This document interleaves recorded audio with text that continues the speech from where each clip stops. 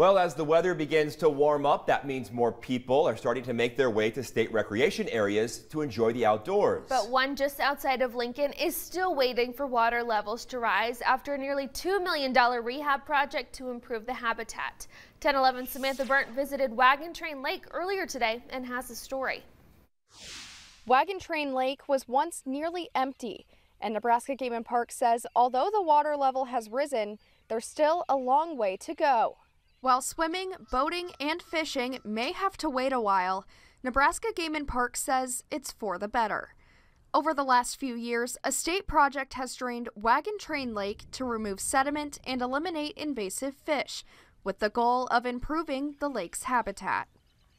So it gets to a point where the fastest way to bring it back is to do something like this drain the lake, get in and do some major work. That work has since been completed and has led to what could be the longest part of the process filling the lake back up. If I had my way, I'd snap my fingers and it'd be full of water as soon as we're done. Uh, but we're at the mercy of Mother Nature, and whenever we get the precipitation, it'll fill back up. Nebraska Game and Park says there is a silver lining for how long it's taking the lake to fill up. They say vegetation at the bottom will make for better fishing in the years to come. Bauer says while the lake was drained, the park put in a new boat ramp, docks, and kayak launch area. He says they've already started restocking fish and will continue to do so as the water rises.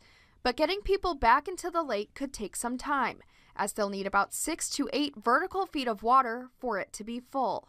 There's other options in the area uh, you want to fish, there's uh, plenty of opportunity to get out and do some fishing, as well as all the other outdoor activities you can still do here at Wagon Train.